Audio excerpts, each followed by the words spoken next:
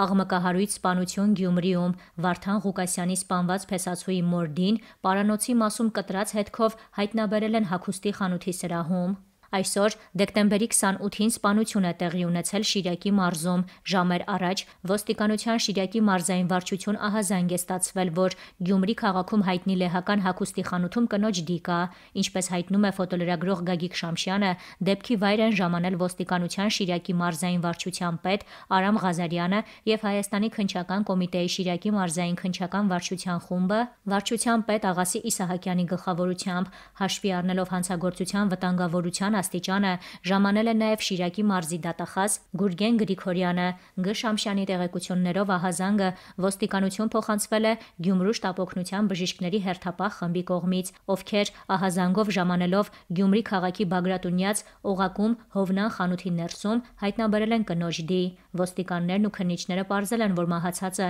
Գյումրի քաղաքի բնակիչ 63-ամյա Անահիտ Իսկանդարյանն էր։ Փաստի արդիվ Շիրակի մարզային քնչական վարչությունում ՀՀ քրեական օրենսգրքի գրքի 104-րդ հոդվածի երկրորդ մասի 8-րդ կետի հատկանիշներով հարուցվել է քրեական գործ։ Խանութի ներսում հայտնաբերվել են նաև արնանման հետքեր, պարանոցի հատվածում էլ կտրված հետք։ Քննիչ որոշմամբ նշանակվել են մի շարք փորձաքննություններ, այդ թվում դիակի դատաբժշկական Գագիկ Շամշյանի տեղեկություններով սպանվածը Գյումրիի նախկին քաղաքապետ Վարդան Ղուկասյանի սպանված փեսացուի մայրն էր։ Ծանուցում. Ենթադրյալ հանցանքի մեջ կասկածվողը կամ մեղադրվողը համարվում է անմեղ, քանի դեռ նրա մեղավորությունն ապացուցված չէ ՀՀ քրեական դատավարության օրենսգրքով սահմանված կարգով դատարանի օրինական ուժի մեջ մտած դատավճռով։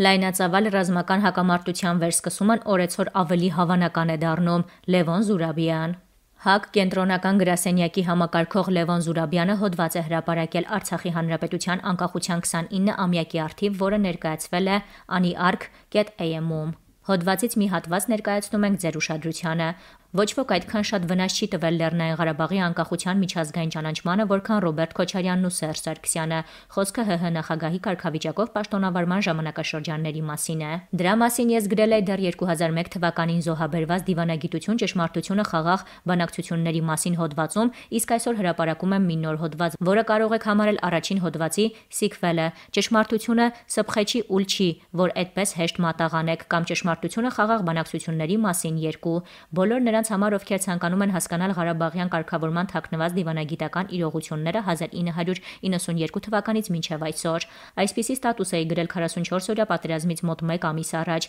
Իհարկե պատերազմը Արցախի անկախության միջազգային ճանաչման գերեզմանափորների շարքում ավելացրեց Նիկոլ Փաշինյանի անունը, եւ դրա մասին ես դեռ մանրամասն հոդվածով հանդես կգամ հատկապես հաշվի առնելով այն նոր տեղեկությունները, որ երկու հրապարակումով պաշտոնապես բացահայտեց Ռուսաստանի Դաշնության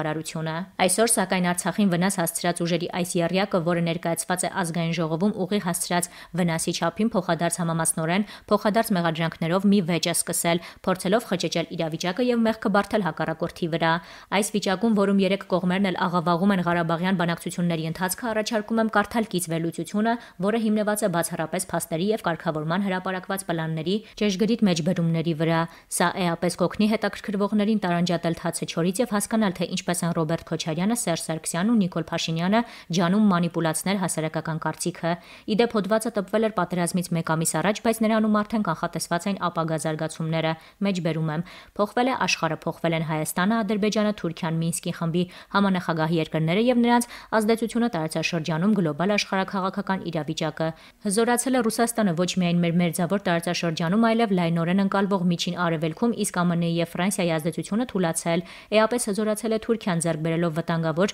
կայսերապաշտական նկարտումներ եւ ներկայություն, որոնք տարածվում են Լիբիայից մինչև Ադրբեջան։ Ռազմական բալանսը Հայաստանի եւ Ադրբեջանի միջև, որում հաշվարկվում են թե սպառազինությունները, թե տնտեսական ներուժը եւ թե ժողովրդագրական ռեսուրսը փոխվել է Ադրբեջանի օգտին։ Վերջինս դառնում է ավելի ու ավելի ագրեսիվ եւ այսօր չի ընդունի որևէ կարգավորման պլան, որում ամրագրված չէ տարածքային ամբողջականության սկզբունքը, մինչդեռ 1997 թվականին համաձայնել էր դրան։ Ադրբեջանի տարածքային սկզբունքի կապանքը հաղթահարող խաղաղ կարգավորման պատմական շանսը կորսված է, իսկ այսօր բանակցությունները ըստ էության տապալված են։ Հայաստանի իշխանությունները բավականին աղոտ պատկերացում ունեն Ղարաբաղյան խնդրի մասին եւ ստեղծված վիճակում adekvat գործողությունների ռազմավարություն չունեն եւ լայնածավալ ռազմական հակամարտության վերսկսումն օրեցօր ավելի հավանական է դառնում։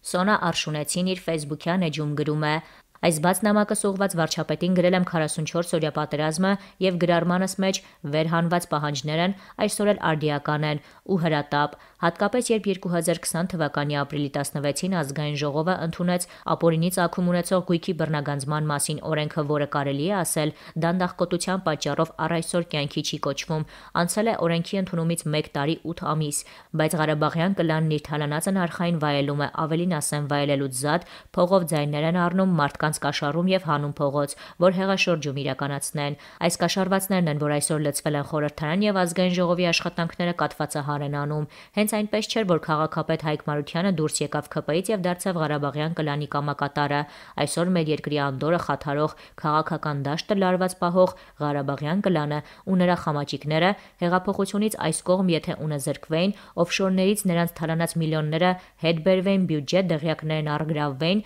parz է որ բոմժ կդառնային էին եւ այսօր հնարավորություն չէին ունենա դաշնակների անհագուրդ փողամոլությունը ապահովեին, վզգոյին կաշառային 17 կուսակցություններին խոստումներ տային, փողոցանային կամ քոչե ինչպես պլստած մարտի 1-ի գործի պատասխանատվությունից եւ հիմա քոք մաշեցնելու երազանքով տարված քաղաքական դաշտն այնքան լարվածության մեջ չէր կարող պահել, եթե ունը զրկվեին, կուլակաթափ լինեին, Ամենակարևորի մասին չմոռանամ, պատերազմում էլ մենք չենք պարտվի։ Այդ արունոտ փողերը մեծ դերակատարություն ունեցան մեր պարտությունների մեջ։ Հուսամ այս նամակս կթարմացնի ապօրինի ցակում ունեցող գույքի բռնագանձման մասին օրենքն ընդունողների եւ իրականացնողների հիշողությունը։ Ուզում եմ ասել, շատ եք դանդաղում։ Օրենքը 2021 թվականի հունվարից գործի մեջ է դրվել, բայց փաստորեն օրենքը թղթի վրա է մնացել, որն էլ Ղարաբաղյան կլանին առիթ է տալիս ժամանակ շահելու մարդկանց հավաքագրելու եւ մոբիլիզացնելու ուժերը եւ հեղաշ շրջման պատրաստելու, ինչպես մեծ սպասումով երջանիկ դեմքով նախազգուշացնում էր Աղվան Վարդանյանը։ Պարոնայք օրենսդիրներ, գործի դրեք Պողպատյա մանդատը, ժողովրդի աչքը ջուր կտրեց, հանրային պահանջն է, որ իրենց թալանողները պատասխան տան։ Սոնա Արշունեցի, գրող հրապարակախոս։ Հա, գետնին ինեմ չախտոտեն, հա, այդ համատեղ ուժերով պետք է դա լինում։ Այս պայդրությամբ մենք ստացվում է, որ եթե սխալվում է, մենք աղբանությունը սուբսիդավորում ենք, ճիշտ է, պարոն Ներսյան։ Այսինքն 5 միլիարդ 200 միլիոնի չափով մենք բյուջեն փող ունենք, հավաքագրում է 28-29, հա, եւ մոտ 3 միլիարդ։ 3 միլիարդ, հա, այսինքն մնացած իմաստով մենք սուբսիդավորում ենք, հա, եւ չի կարելի Թիվը բանկ բանկ կներեք բանկ հակապ 4.6 միլիարդի մասին է խոսքը 4.6 միլիարդ կներեք թվերը շփոթեցի անյու ամենայնիվ ես կցանկանայի խնդրել, որ մենակ ոչինչ բան չենք կարողանալու անենք, պետք է համատեղ անենք, ճիշտ է, ինչ որ հասկանում եմ, որ նաև ինչ որ տագնապ կա, լարվածություն կա, չարություն կա, էլի այդ չարությունը եւ այդ ամեն ինչը պետք է դնենք մի կողմ եւ մեր ամենօրյա գործողությամբ, մեր պետությամբ, մեր Երևանում մեր շրջակա միջավայրում ինչ որ մի բան պետքա բարելավենք։ Առանց դրա չի լինելու։ Մի հոգի չի կարողանա, մի ձեռը ծափ չի տալի, երկու ձեռով պետքա ծափ տան։ Եվ խնդրում եմ բոլորին, որպեսի ես վստահեցնում եմ, այն քաղաքացին, ով ծխում է եւ իր այդ մնացորդը չի գցում գետնին, ինքը արդեն մեծ օգուտ է բերում Երևան համայն